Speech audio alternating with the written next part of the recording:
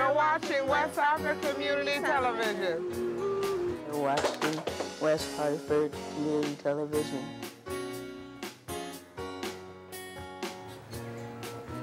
You're watching West Hartford Community Television.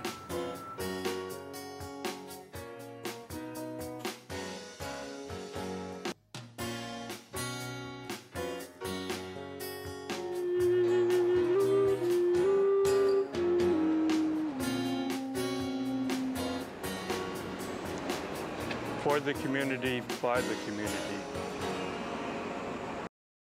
Good afternoon, and uh, welcome back to our now annual Conversation on the Arts. Um, my name is Natalie Carpenter, and I am speaking with Dartanion Reed, the founder and artistic director of the Hartford City Ballet. So, hello again. Hello again. uh, wow, this is really great. Uh, Natalie, thank you so much for uh, having this conversation with me. Uh, and thank you to West Hartford Public Access for allowing us this, uh, this great opportunity to, to have this conversation. Absolutely. So, it's been a busy, busy year for the ballet. Yes, yes, a lot has been going on uh, in the past year since our last conversation. Um, first and foremost, uh, the company has moved uh, from our old location on Farmington Avenue uh, to new locations, uh, 6,000 square feet, uh, that is 85 Gillette Street in Hartford.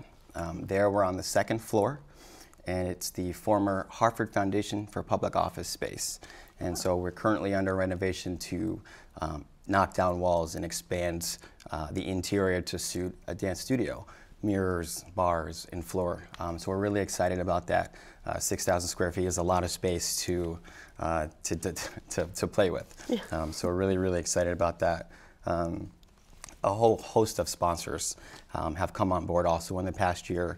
Um, and I'm not going to name them all, um, but they, they range from uh, uh, uh, local support uh, from Webster Bank, from Bank of America, uh, Hartford Foundation Public Giving, and range all the way to individual indiv individuals. And um, we're really thankful for that increased and growing support.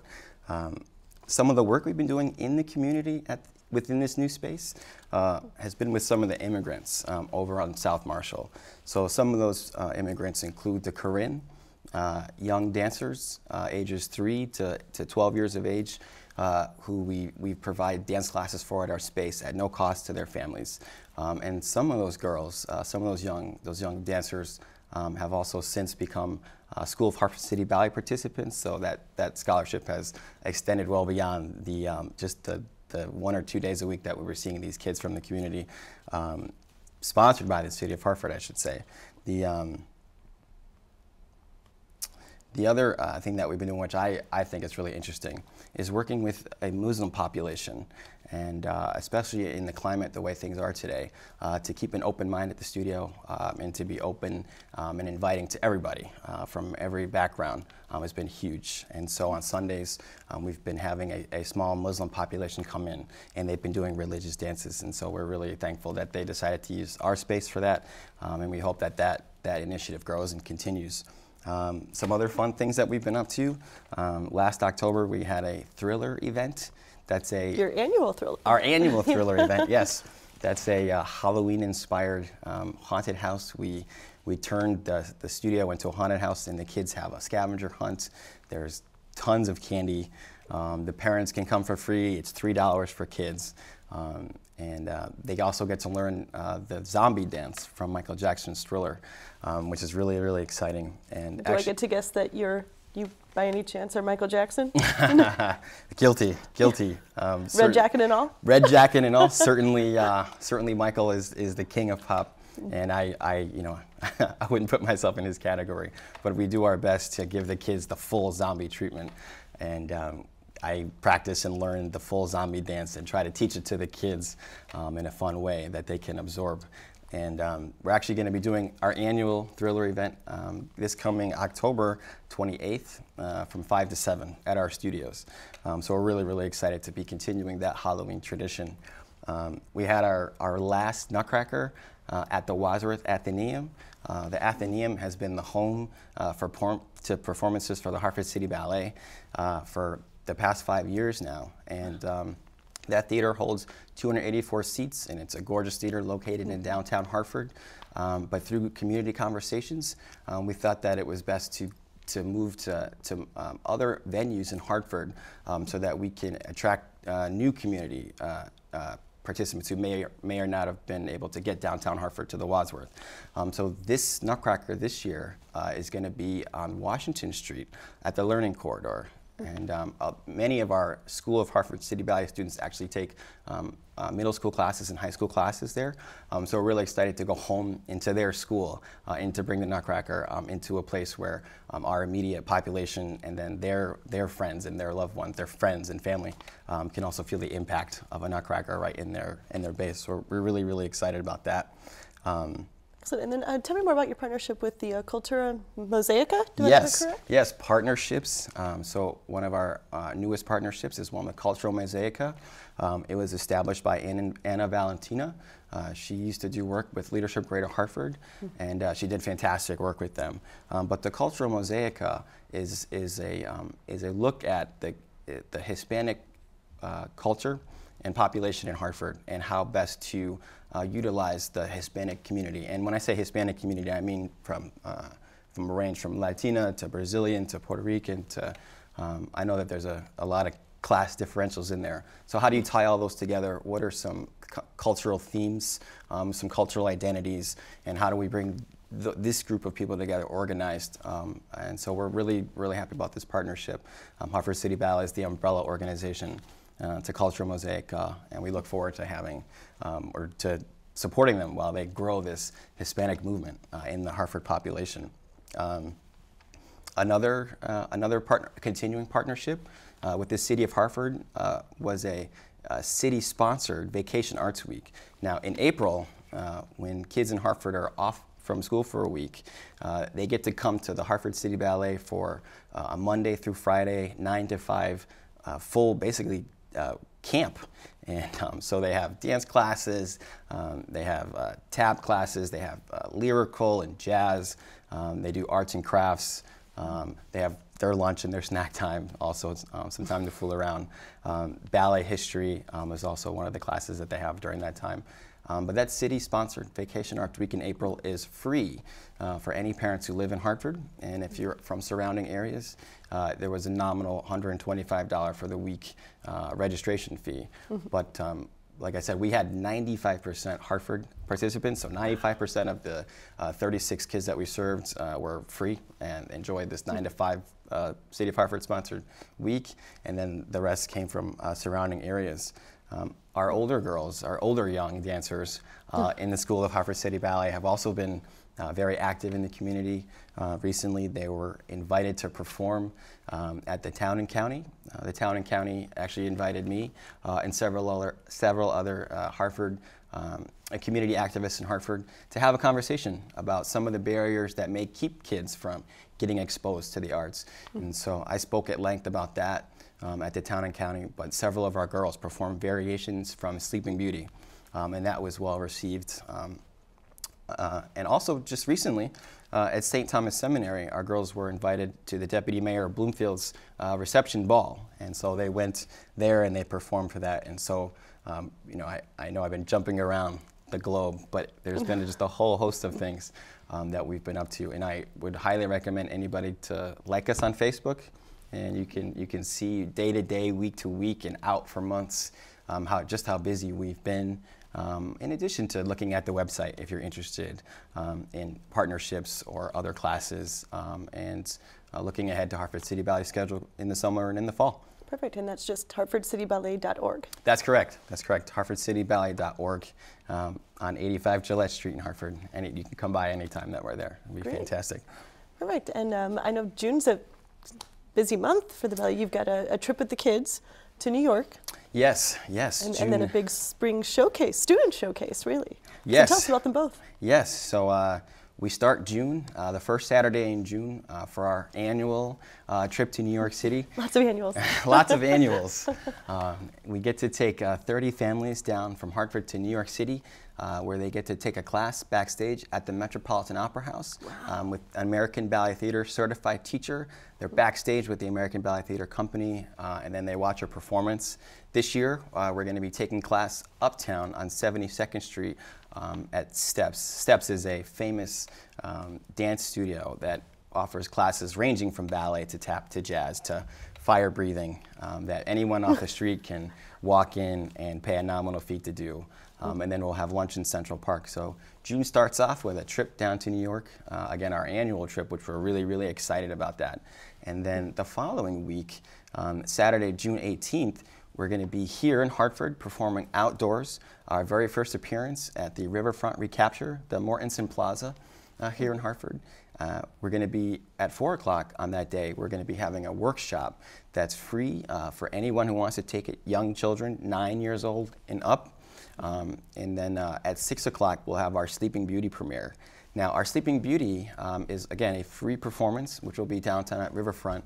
Um, we're going to be inviting uh, the New American Youth Ballet, some of our friends in New York City, another school um, with whom we've had a long-standing partnership with, uh, a collaboration. Um, I just went down there this past weekend um, to participate in their premiere of Someday, um, and I also danced um, some excerpts from the ballet Don Quixote. Wow. so the New American Youth Ballet will be here on June 18th. our kids are really super excited. Sleeping Beauty is going to be a full Sleeping Beauty from the prologue to Act 1 to our guests, Act 2, uh, and then wrapping up with our Act 3. June is going to be very, very busy with, with, the, um, with the outdoor event. That's a free event, uh, Saturday, June 18th. I just want to make sure I get this right. Um, with the free dance class at 4 o'clock and then the performance starting at 6. Um, we're also going to have a, um, awards presentation after that performance. So we hope people, if they do come, that they'll stay around for that. Um, and then we'll have some, hopefully some pizza and some cake and some soda right there um, at Riverfront uh, so people can meet the performers and we can celebrate what's really the, the end, uh, the official end of the School of Hartford City Ballet's performing calendar. Okay, great. So, so free performance. So, if it's free, uh, do you need people to like reserve a spot? Is it just you know show up, find a place to like park a blanket? What are you, what are you envisioning? So the riverfront is actually very, very beautiful, very gorgeous. They have a lot of grassy knolls down there, um, plenty of places for people to set up their picnic. Um, I would I would get there earlier. The earlier the better. We're going to be there all day from 12 o'clock on, teching and laying down floor. Um, and if that's something that people like to see, um, the, the you know how do you load the stuff into the theater, um, getting ready, warming up lights, um, seeing the dancers rehearse.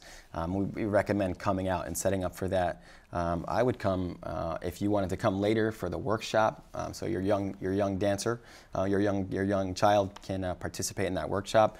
Come at three o'clock, and uh, you'll see a lot of the School of Hartford City Ballet students there warming up on the stage. Um, just because the workshop starts at four doesn't mean they can't get on the stage and dance around and do some twirls with uh, with some School of Hartford City Ballet kids. Um, I think that'll be fun. Um, and uh, the better the better place you get, obviously you'll be in a much better contention for um, prime seats to watch the premiere um, of Sleeping Beauty, which which is going to be very very gorgeous, very very beautiful. We have some special effects um, that we're keeping under wraps until that day. Um, so we're really excited to premiere this Sleeping Beauty. Um, but if I were, you know, if I were interested, I would get there early, get your space, um, bring your cooler and your and your picnic, and uh, come and have a wonderful time with us. Okay. Now, will there be like food and beverage vendors available, or, or is it really bring bring your own? Um, at this stage, um, because this is Hartford City Ballet's first time using the riverfront recapture, um, it's difficult to promise vendors um, just exactly what the turnout's going to be. Um, on a regular basis, the School of Hartford City Ballet performs um, for over 300 people. our goal uh, for this, this premiere at Riverfront is to have at least 500 people. So we're looking for 200 people in addition who probably hasn't seen the Hartford City Ballet or hasn't had a chance to come and see the Hartford City Ballet um, or is just now becoming aware of our existence to come and check us out. Um, uh, so I would, I, on the safe side, I would have something just so, uh, just so you have something to eat and to drink. Um, but there may or may not be vendors. Uh, if we get our 500 people or more uh, target this time next year, um, we'll hopefully have another conversation, and I can promise you much, much more. Um, some sandwiches, maybe some pizza vendors. They'll all want to come um, to this time out. So this is our first time out. So we uh, we really just want to have a good time with it and um, get the best turnout that we can.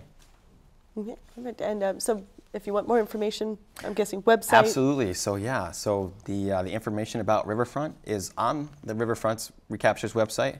Um, they have a start time there at two o'clock because they've done this annually. They have a regular presentation that goes on there. Um, so they know that people want to get there early to set up and reserve their spaces so they have good time for the workshop, good time for the performances.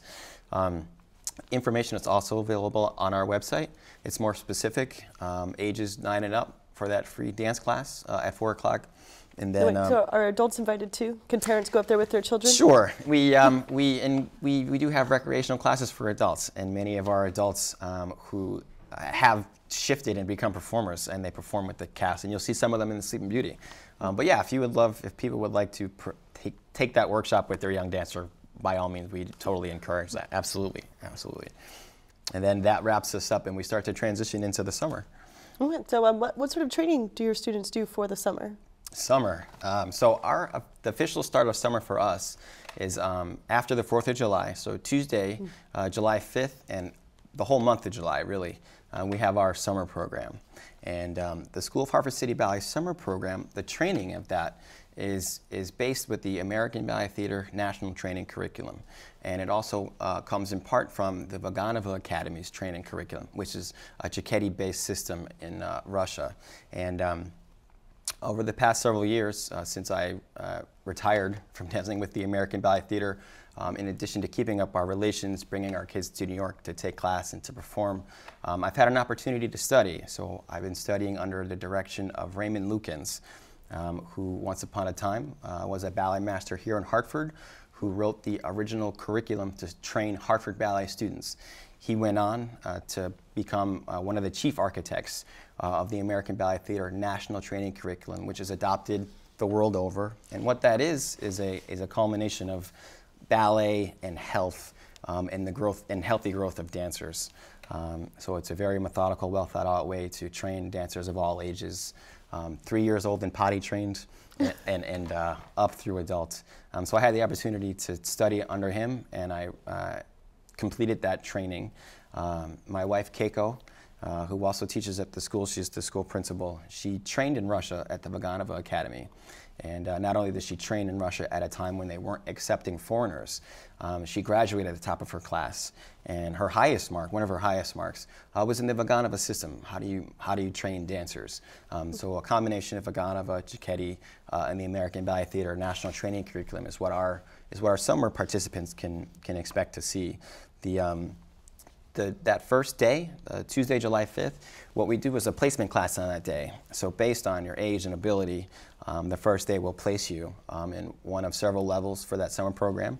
And then over the course of that four-week summer program, uh, in addition to dancing and dance history um, and other extracurricular classes, uh, the students will be learning choreography that they will present to their parents and to friends um, at the end of the summer program, um, which, which um, we're also really, really excited about. We're hoping that the renovations that we're doing with our studio will be finished in time, um, so that the parents can we can inaugurate that space with a performance uh, at the end of the summer workshop, and. Um, yeah, so and information about the summer workshop, um, as well as registration details, you can register online um, at hartfordcityballet.org. And uh, as we as we move forward, um, if people would like to send, uh, they'd like to get on an email list, um, they can do that by just sending us an email to info uh, at hartfordcityballet.org, and we'll add them to our constant contact list. And they'll get weekly updates in some cases, mo- monthly and quarterly reports uh, from the Hartford City Ballet, so they can keep up to date with um, what it is that we're doing.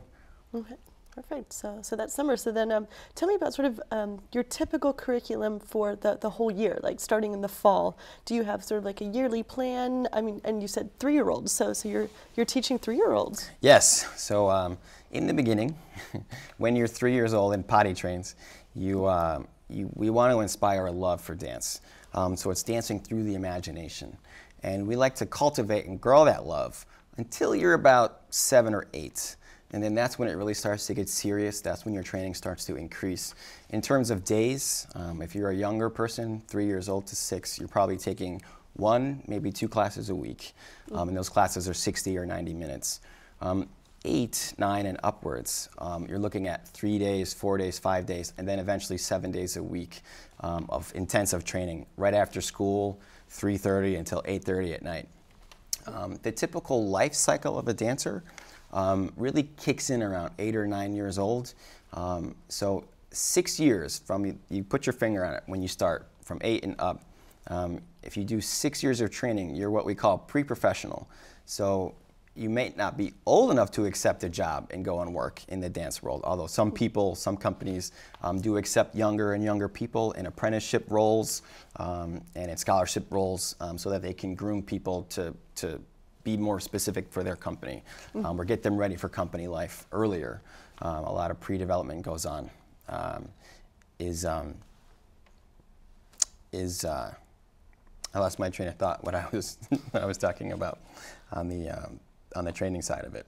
But okay, so so three. So then so then for pre-professional, I'm guessing. So there are some kids who decide that yes, I I do want to take dancing a little bit further, like maybe get a scholarship to a college in the way of dance, or go on to maybe something like the the American Ballet Theater School. That's right. So there's there's really two tracks here. The one track is you can if you're if you want to be a professional dancer, you you're looking at a minimum of six years before you'd be ready.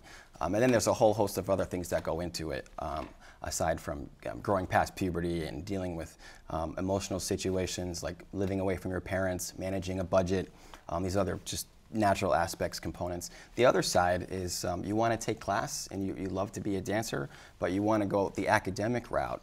And uh, several of our girls in the past several years um, have graduated, gone on to college. Our most recent girl just got accepted to UConn.